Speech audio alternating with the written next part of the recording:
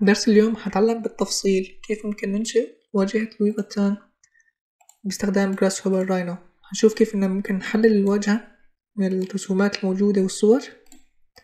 بعدين نبدأ خطوة خطوة أمر أمر كيف إنه ممكن بشكل منظم وبسيط ننشئ هالواجهة هاي أو الفكرة أو البرنامج الخاص ب Grasshopper لهالواجهة بحيث إنه ممكن ننشئها بأي مشروع عنا ونتحكم فيها بشكل بارامتري كامل.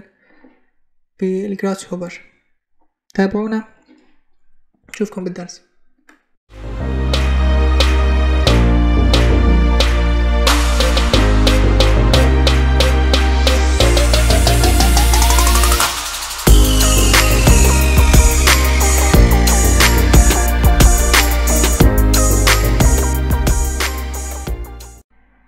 اليوم هنتعلم كيف ممكن ممكن ننشئ واجهة لوي فوتان البارامترية مثل ما شايفينها بالشكل قدامنا باستخدام جراس هوفر بكل سهولة. ملاحظ مميز بهالواجهة هو عبارة وجود هالشكل البسيط الدائري مع المربع وتغيير شكله وأحجامه بطريقة مميزة ومثيرة للانتباه. وكيف كمان التغيير بين عناصر ثنائية الأبعاد اللي هي الواجهة مع رسمة الجريد والتحويل بشكل تدريجي لعناصر ثلاثية الأبعاد الدائرية مع المربع المنحني. طبعا الواجهة ممكن تبين كأنها معقدة بس فعليا لما واحد بحللها بشوف إنه عن طريق الجراس هوفر ممكن ننشئها بأبسط الأوامر الموجودة.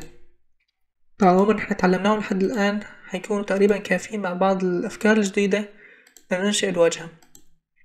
لاحظ كيف حتى بالإنشاء عبارة عن module متكرر ومركب على الواجهة. شفنا رسمة ال 2D للواجهة. لاحظ كيف إنه فعلا في هو شكل واحد تقريبا ومكرر بأحجام معينة أو ممكن نقول بثلاث أحجام بس حجم كبير الوسط وحجمين صغار. أنا ممكن إذا أبلش كتفكير للواجهة ممكن أبلش إما إني من العنصر الأساسي أشوف هل ممكن أرسم العنصر بشكل لحاله أحيانا ممكن يكون عنصر معقد كتير فممكن أبلش منه وأشوف هل عندي الاستطاعة إني أرسمه.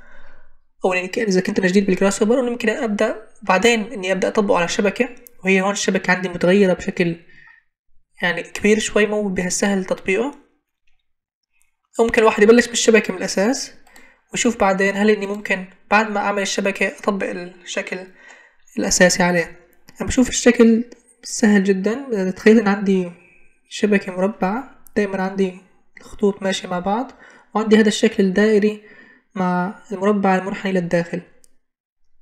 ممكن إذا رسمته تخيل إنه عندي هالمربع منه تنتشئ دائرة خارجية وبالعكس تنشئ مربع منحني جوا طبعا دايما الرسم على ورقة مع أثناء التفكير ب حتى بالتصميم الرقمي بالتصميم البارامتري أو أي نوع لازم واحد دايما كطالع فكرة أغلب حتطلع من رسم على الورق. مثل أي مشروع واحد يفكر فيه وأي تصميم. هذا شي طبيعي. فأنا عندي مثل ما شفت بالرسمة أنا عندي هذا الشكل هيتكرر على شبكة متغيرة الحجم. فأنا حبدأ من هالشبكة نطبقها على هال surface اللي رسمته. surface أنا أهم شي عملت الطول ضعف العرض. هنشوف ليش بعد شوي لأن حقسمه لمربعات متساوية. باستخدام ال isotrim مثل ما تعلمنا من قبل. لاحظ انه دايما عندي مربعات فأنا حاب شبكتي لازم تكون كمان عبارة عن مربعات. فهضيف ال surface أول شي اعرف ال surface مثل ما تعلمنا قبل. set one surface. أضيفها على isotrim بدي divide domain. المربع. عندي هون لاحظين صارت عبارة عن مستطيلات لأن عندي ال U وال V متساويين عشرة في عشرة. عندي ال U بشكل افتراضي عشرة وال V عشرة. أنا لا حابب ال V يكون ضعف ال U بحيث إنه يتقسم أكتر على الطول.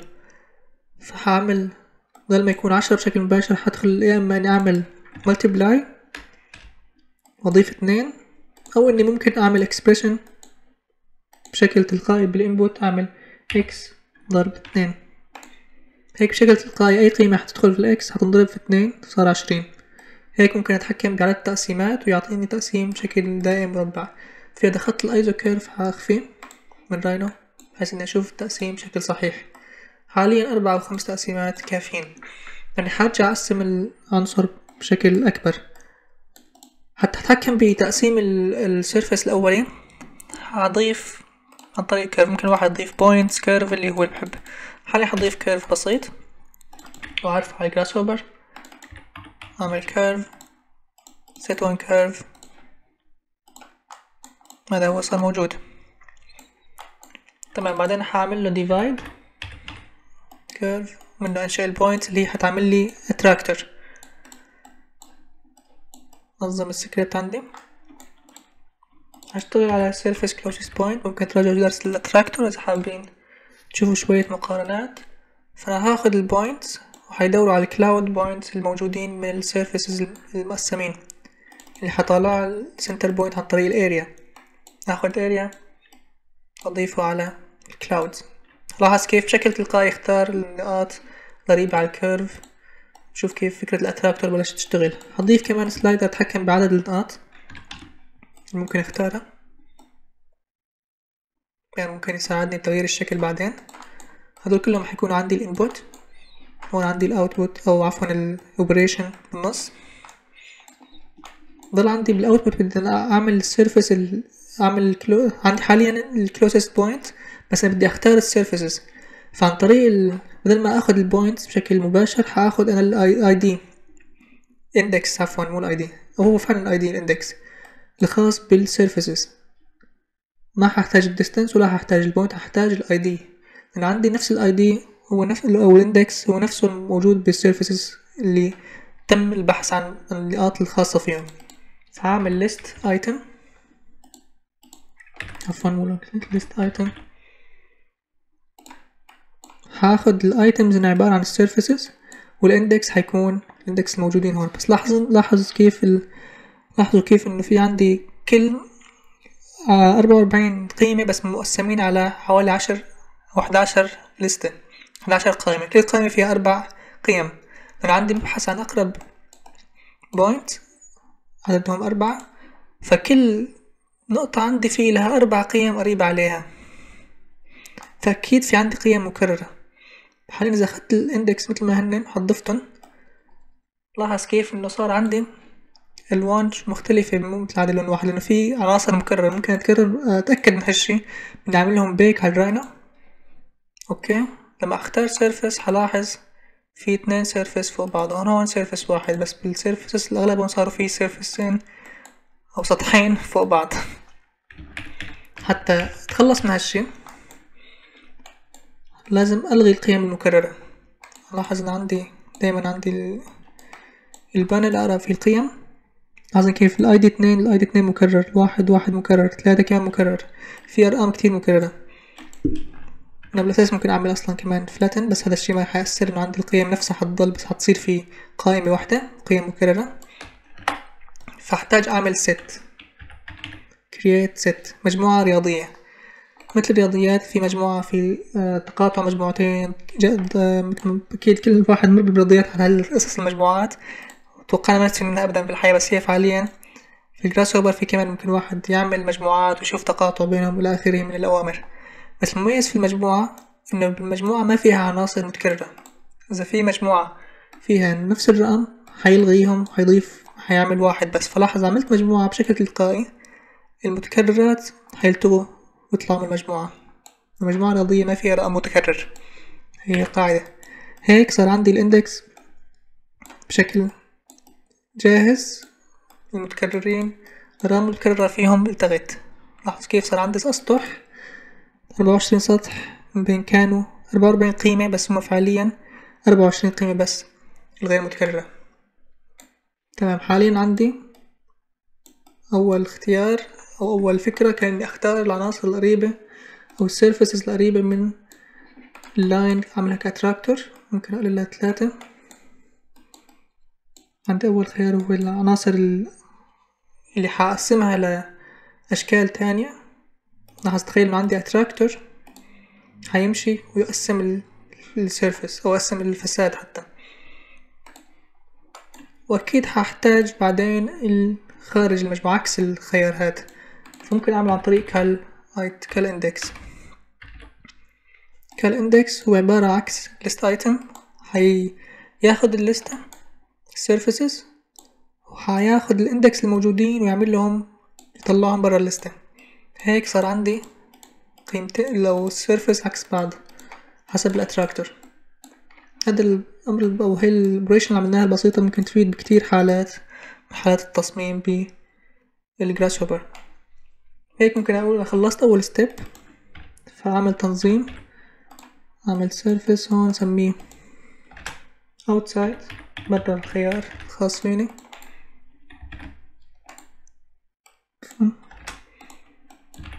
واحد تاني سميه inside.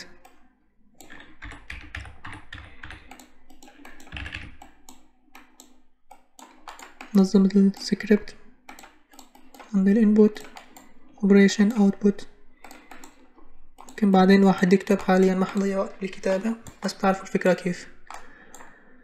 آه نبدأ أول شي نقسم ال... العناصر اللي عندي. هاخد ال surface ال out inside نطفيها تعمل هايد ما محتاج أشوف أي شي لهم هايد هاخد ال surfaces ال inside الخاصين واقسمهم مرة تانية. هعمل isotrim نفس الشي divide domain هضيف مرتين بس. حاليا عندي الشكل مربع بشكل تلقائي. فما أحتاج أعمل أي operation بس لاحظوا هي لاحظوا كيف. حاليا عملت divide قسم بس ربع واحد من مجموعة ليش؟ لأنه عندي كل surface 16 surface هون لاحظوا الخط كيف تغير؟ هون عبارة عن في list مجموعة من الليستات طالما الخط صار منقط. بطلع عليه فعلا في عندي أربع مجموعات أو أربع items أربع قيم. أو عناصر بعدة بأكتر من لستة أكتر من قائمة. فهالشي عن تسبب مشكلة لازم أعمل flatten لل divide surface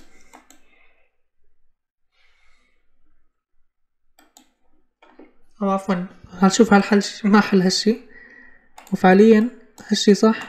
عفوا لازم هالشي صح لازم أعمل graft لل surfaces حتى يقسم لي كل surface بشكل لحالها عن لأن هال operation بيشتغل على surface واحد. فإذا ضف له أكتر من surface بلستة واحدة ما حيصير أقسم العناصر كلها مع بعض فلازم أعمل graft بحيث إنه يتعامل مع كل surface بشكل منفصل عن التاني. بهالشي لما بيجي قائمة كل فيها آه كل لستة فيها surface واحد هيعرف يشتغل ويقسمهم بالشكل الصح بيتعامل مع كل surface بشكل تلقائي لحالها.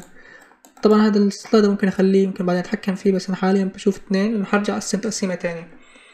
اللي بهمني حاليا بلاحظ إن عندي بالواجهة في شوية عشوائية.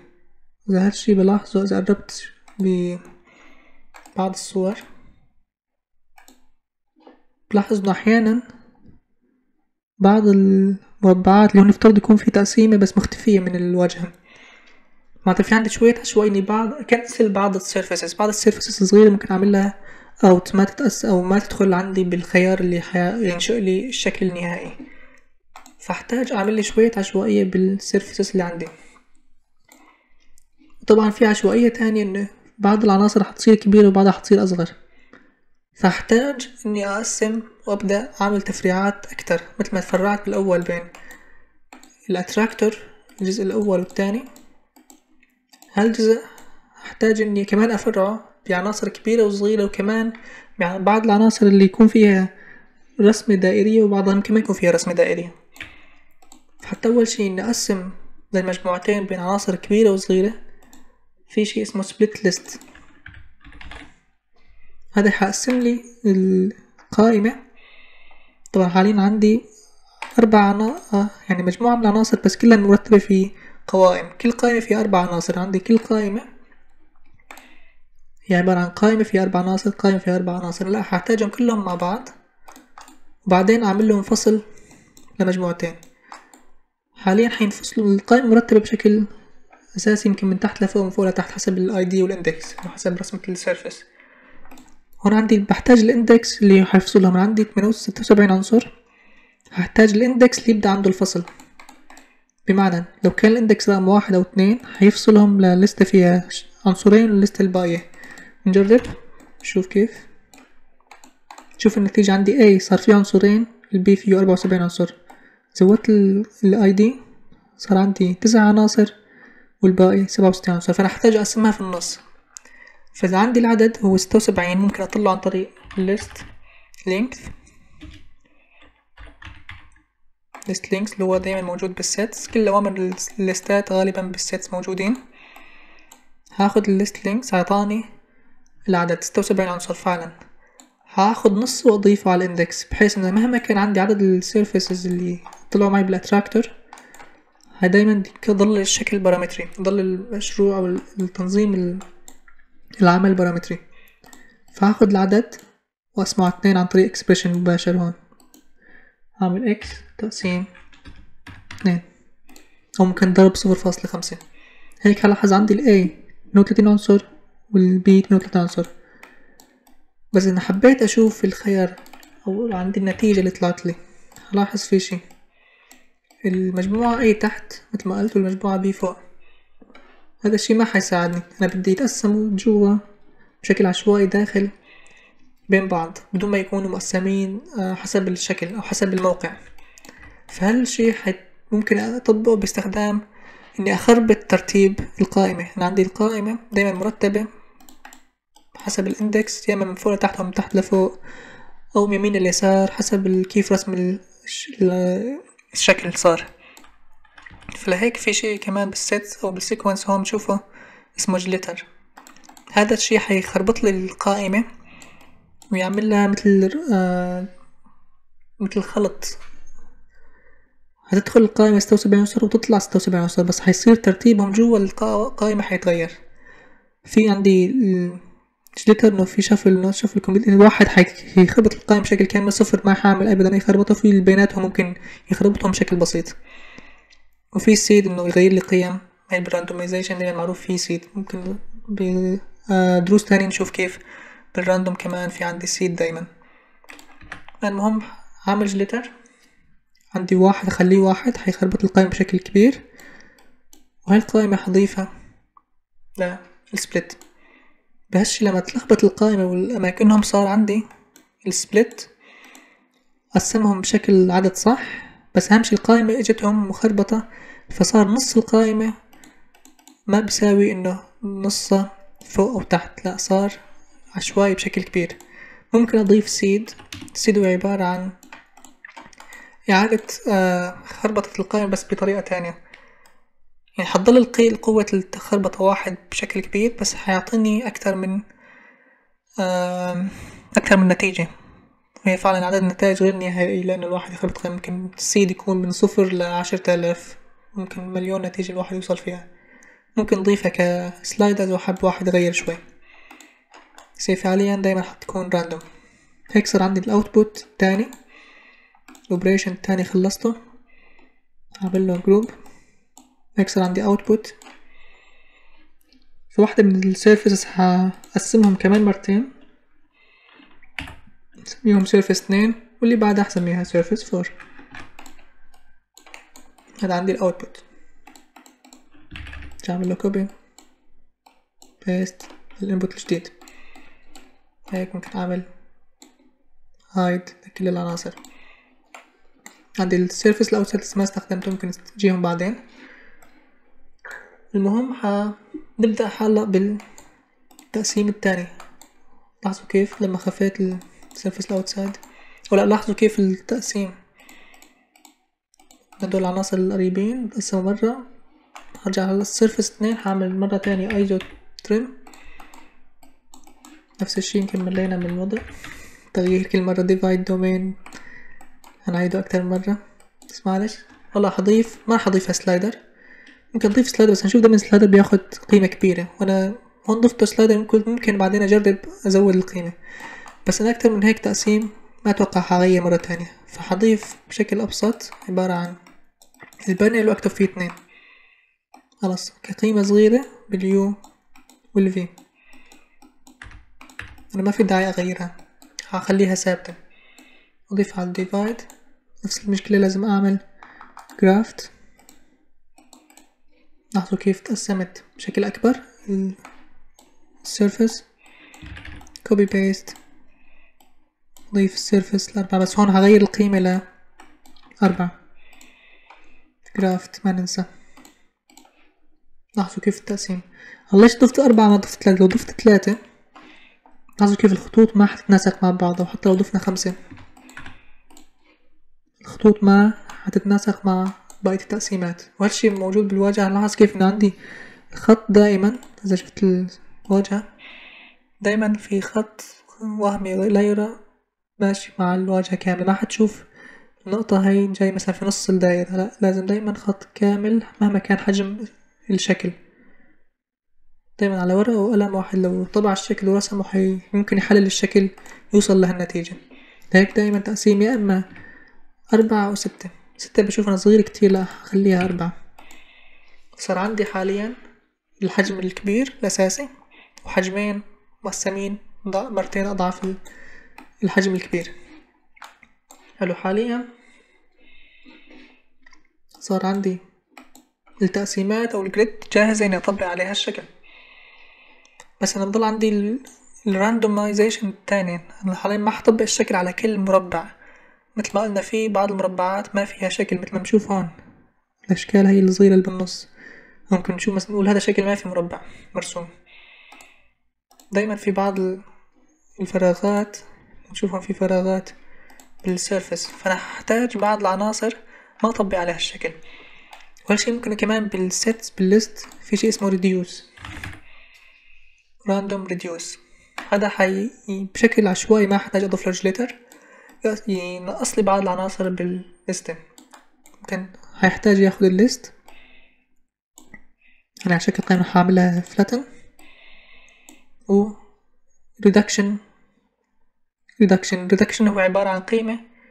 قيمة ال كم أو كم عنصر حابب أنا number of items to remove. فأنا عندي عدد العناصر ممكن أطلعهم من list length مثل ما تعلمنا. عندي العدد من مية واتنين وخمسين. فضفت مية واتنين وخمسين هيطلع لي صفر عنصر. فضفت مية وخمسين هيضل عنصرين. فأنا عن طريق العدد هضربها ب آه، عدد بين الصفر بين صفر فاصلة واحد وواحد إذا كان واحد طبعا لازم أضيف فاصلة آر. إذا كان قيمة الضرب واحد فما حي فما حيقسم أي عنصر عفوا فحي حيلغي كل العناصر. إذا قل الخمسين بالمية فحيضيف لي حوالي خمسين بالمية من العناصر. فهي ممكن أعتبرها عبارة عن إذا كان صفر ما حياخد أي عنصر. ما حيلغي أي عنصر حيكون مية بالمية عدد العناصر. فهيك ممكن أتحكم بال random reduce نفسه بالظبط هطبقه على الشكل التاني هون لازم ما أنسى إني أعمل flatten شوف نفس الفكرة. أتحكم فيها. ممكن أضيف مثلا خمسين ستين وإلى آخره. ممكن بس الشكل. نشوف كيف ممكن نطبقه. هيك صار عندي الشكلين النهائيين. جمعهم بسيرفس طبق عليهم العملية النهائية. طبعا ما أنسى الواجهة الكبيرة كمان في عليها بعض الأشكال. مثل ما شفنا مرسومين. فكمان حضيفهم آخذ الواجهة. surface outside. ضيفها add to group. عيد من هون. وأضيف عليها بشكل مباشر random reduce عدد القائمة مع طول حاول أرتب شوي الشكل. أحتاج بس هسه المجموعة. أضيفها بالشفت هيك اخترت بعض العناصر. ممكن. كترهم أكتر أو أقللهم أكتر هاي العناصر حيطبق عليها العملية اللي تنشئ لي الشكل الدائري. إذا خفيت كل شي لاحظ هي هي العناصر بس. لاحظ إن هو كشكل حاليا كشكل ال grid بدون تطبيق العنصر صار في آه آه حركة شوي ممكن أتحكم فيه وأشوف كيف أطالع أشكال مميزة. هذا الشي بشوف لحاله. آه يعني جميل وممكن بيطلع منه أفكار تانية. فعندي هاي ال surface هي اللي حتكون ال output. هذا عندي ال operation. هذا هو ال output. فأنا هاخد ال surface ممكن كمان أسميه circle أو final عشان أعرف رجعت له بعدين. من ال grid هيك وصلت للمرحلة اللي حطبق فيها الشكل. طبعا لما حطبق الشكل ممكن آه يصير شوية أغلاط ممكن أجرب بعض الأشياء. فما حطبق الشكل مرة واحدة على مية و أربعمية وسبعتاشر عنصر. لهيك رح أعمل ليست ايتم واخد شكل واحد بس ممكن اخد شكل من الأشكال الكبيرة هو هذا وأبدأ أرسم عليه الدايرة اللي شفت أنا كيف بالسكتش. أول شي حاعمل deconstruct. بيرب استخدمناها بدرس سابق اني حابب أرسم المنحني هذا الداخلي لاحظوا أنا كيف عندي هذا المنحني مكرر من يحتاج ثلاث نقاط حتى أرسمه. عندي نقطتين موجودات ونقطة ثالثة داخل المربع. فهاخد الإدجز وأنشأ عليهم نقطة. فهاخد edges اعمل evaluate point. Evaluate curve عفوا. هذا evaluate curve بياخد ال curve بحتاج آه قيمة بين الصفر والواحد. تنشأ لي نقطة على ال curve طبعا عندي أربع curveات بال deconstruct brep. لما أعمل صفر فاصلة خمسة لازم ال curve outside curve دايما لازم أعمل reparameterize بحيث إني أعمل ال curve من صفر واحد هيك صار صفر أقل قيمة واحد أعلى قيمة. لاحظين إذا بحتاج نقطة ال curve تكون بالنص صفر فاصلة خمسة طبعا حتى ما تكون slider واحس ممكن أتحكم فيها وشي خلاص حضيفها ب parameter ثابت. خليها هون. بعدين ححتاج أحرك ال point للداخل. هال point ممكن أعمل حب فأعمل أمر التحريك ما اخدناه بسهوله بال move. بس ال move حيحتاج ممكن اخدناه صح بانشاء ال tower لما انشأنا البرج. أمر ال move بيحتاج ال geometry اللي هي ال point. وبحتاج كمان الجهة. فالجهة عندي لازم تتغير بين الأشكال الأربعة. حتى أنشأها لازم أعمل vector, vector to point. vector to point. أنا بحتاج الجهة الأولى اللي حينشأ منها ال vector point الأول والنقطة الداخلية. فأحتاج أعمل ال area هاي ال area اللي تعطيني نقطة داخلية. أضيفها على ال B هيك صار عندي vector. ممكن أشوف عن طريق display vector display إذا أخدت ال vector ونقطة البداية هينشأ لي أشوف ال vector وبعد ال vector ممكن واحد يتحكم فيه أو يتلاعب فيه بشكل سهل. بس بال vector display ممكن واحد يشوف ال vector اللي رسمه. لاحظ كيف رسم vector بين بين النقطتين. بس هال move ما حعمل move بشكل كامل؟ لو عملت نفس قيمة ال vector حشوف النقط كلها اتحركت للنص. لا أنا حتحكم في القيمة. فلازم أعمل amplitude بياخد ال vector وحأعطيه قيمة. هالقيمة طبعا ممكن تتغير حسب حجم المربع كيف ممكن أتحكم بالقيمة؟ لو حاليا شفت ال vector شوف كيف قيمته تتغير. فأنا حابب قيمته تكون لها علاقة بحجم المربع ممكن يكون حجمه صغير أو كبير. فلهالشي لازم أضيف أعمل ال distance أعرف المسافة بين النقاط وال center فهضيف distance طبعا لاحظين أنا صرت عندي نقاط كتير. ممكن حتى أنظمهم أكتر. شوف بس شفت عندي آه عنصر بستخدمه بأكتر من محل بأكتر من عملية. بفضل إن أنسقه وأعمل ال points أضيفهم وأسميهم point edge point مثلا. أخدهم control shift طلعهم لبرا وأرجع أوصل edge point هعمل point تانية بسميه center ضيفه على ال center ضيفه على ال B هيك أنا حارف إني أضيف كمان distance بين ال center وال edge صار عندي ال distance طبعا صار عندي حاليا أربع قيم إنه عندي أربع point فأنا ممكن أعمل بشكل مباشر list item. آخد point واحد بس وأضيفه على ال distance صار عندي distance واحدة عبارة عن خمسين. فهاخد ال distance اللي هي خمسين وأقسمها على اثنين.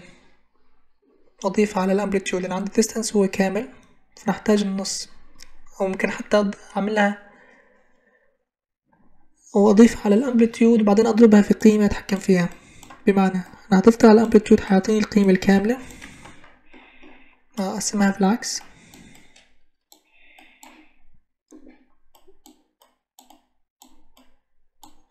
آه عفوا. ضفت الغلط. عبارة عن القيمة الكاملة اللي هو كان ال vector الأساسي فعليا. هذا فعليا ما بحتاج ال distance معرف ليش آه. ممكن آخذ ال vector فورا واضربه باثنين فهضرب آخذ ال vector وأعمل ضرب.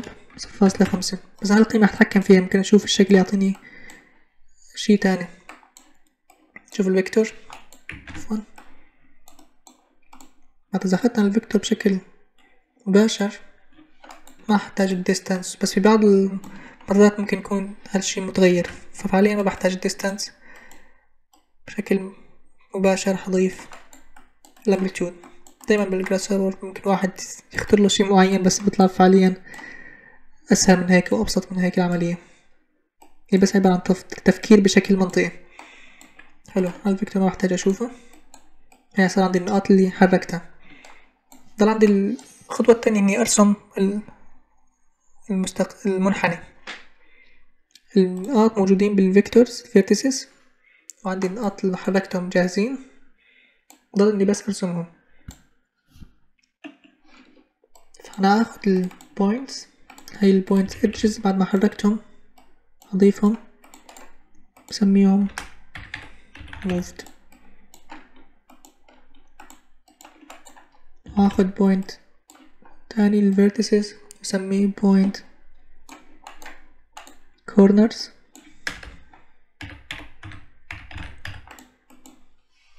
تمام؟ تعال نوصل بيناتهم.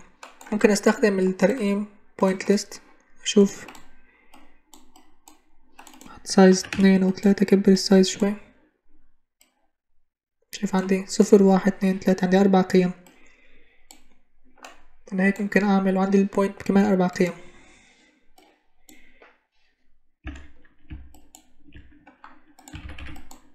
ما لازم أخلط بيناتهم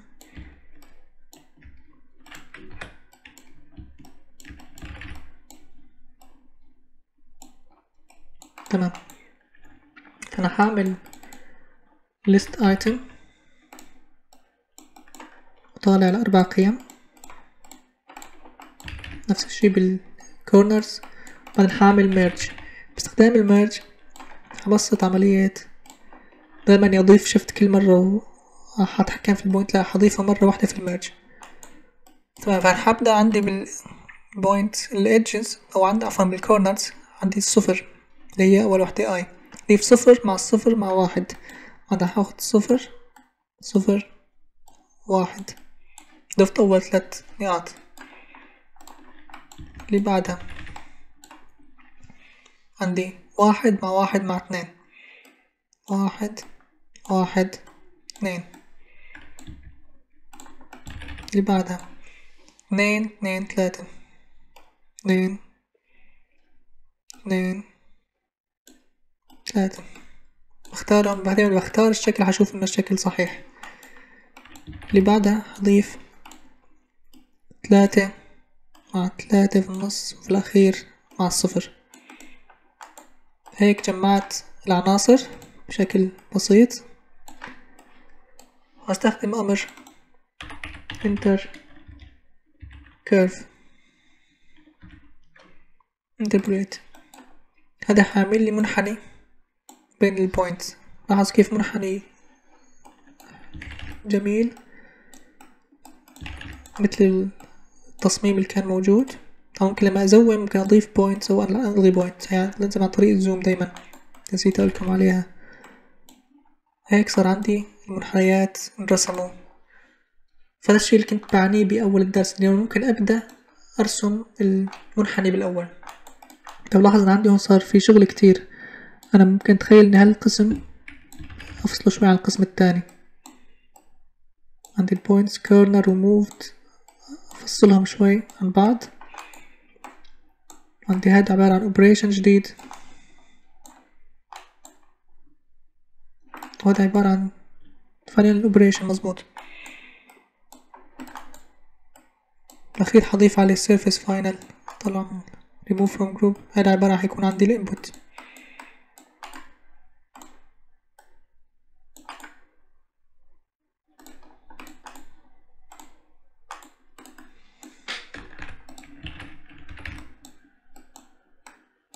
باستخدام ال Alt بعد شوي. طبعا بس بالأخير ما حضيف ال item حضيف ال item كل ال surfaces مرة واحدة. هشوف لما حضيفها حيصير عندي شوية تغييرات بطريقة التعامل مع ال list هاي أنا صار عندي ال curve الداخلي. ممكن دايما أتحكم في قيمة قوة الانحناء. صفر فاصلة خمسة أو صفر فاصلة أربعة ممكن هما المناسبين. صفر فاصلة أربعة مناسب. طبعا حضيف الدائرة الخارجية.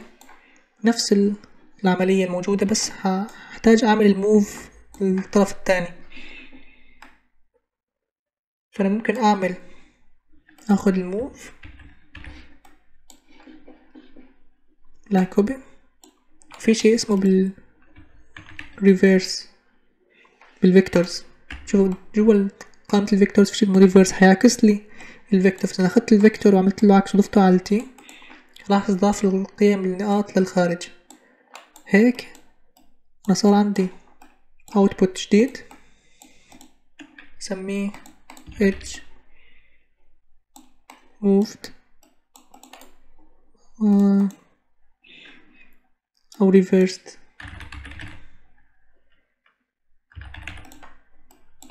نضيفه على ال output add to group. هدول ال points أنا فعليا إذا أخدت عندي ال corners موجودين وال edge نفس العملية حنسخهم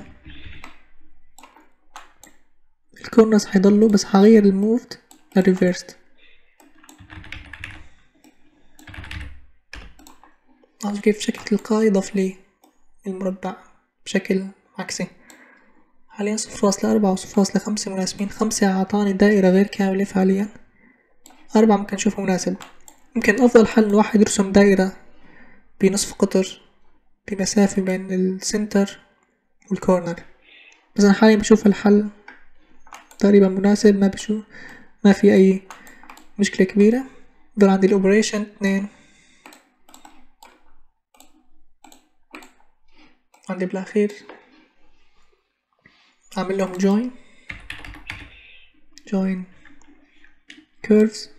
واخذ ال curves كلهم واعمل لهم join ل curve واحد.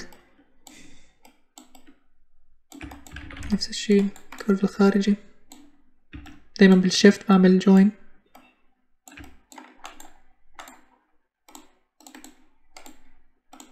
وهذا يصير عندي على شكل output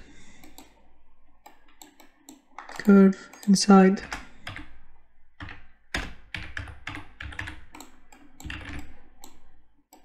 أنا حسميه outside.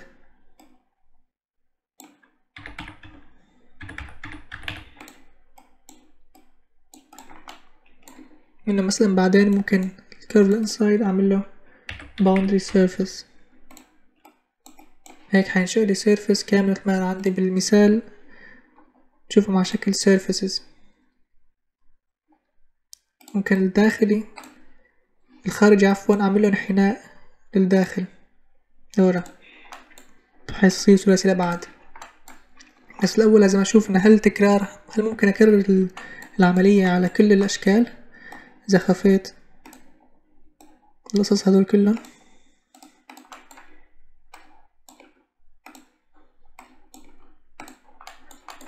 هشوف أنا بقول عندي list واحدة. إذا قررت أضيف index تاني. غير محل. عملت copy paste وضفت shift لل index عملته index هذا غير رقم هشوف العنصر. شغال. حاليا ممكن ما بشوف فترة واحدة أضيف العناصر كلها. لا أتأكد عنصر عنصر. شوف فعلا الوضع لحد الآن ماشي تمام. الوضع كله ما في مشكلة. طيب أنا حجرب أضيف مرة واحدة ال surfaces كاملين مرة بشكل كبير مرة واحدة. لاحظ كيف؟ العملية كلها اشتغلت. ما هحتاج ال list item مرة تانية. دول حضيفهم لل group انتهت ال output دول اعتبرهم برا المشروع. بس عبارة عن تأكد. لاحظ كيف بشكل سريع ممكن أطلع التقسيم الأول اللي عملناه. عمله show وأخفي العناصر التانية مع ال curves وال BANG. ده صار عندي تشكيل حاليا ثنائي الأبعاد نفس الموجود بواجهة لوز فتان نفس لوز فتان كان عبارة عن مربع بهالشكل جايين. ممكن خط مستقيم بهالشكل عامل تغيير موجود هون. بعدين جت عناصر أكبر نرجع عناصر أصغر. يمكن نعمل نتحكم بهالطريقة باستخدام ال curve بهالشي. أو نرسم curve ين واحد فوق واحد تحت. إذا ما كان عندي هالقسم نتحكم بس فوق وتحت. وفي بعض العناصر اللي غير موجودة. طبعا يعني الشكل الساتودي فالتحكم فيه سهل. كانت أجرب أغير بالقيم. ممكن بعدين أرجع أزيد ال randomization لأقللهم. حسب أنا ال surface اللي عاملها والحجم اللي عامله. ممكن كمان أرجع أقسم أعمل divide أكتر وأكتر. كل ما أعمل divide أكتر؟ كل ما حزيدوا عدد العناصر. وبلش الجهاز يستخدم الموارد كلها تبعه. أو ممكن أرجع للعنصر الأساسي واصغر التقسيمات الأساسية. بالاخير صار هو الشكل البارامتري.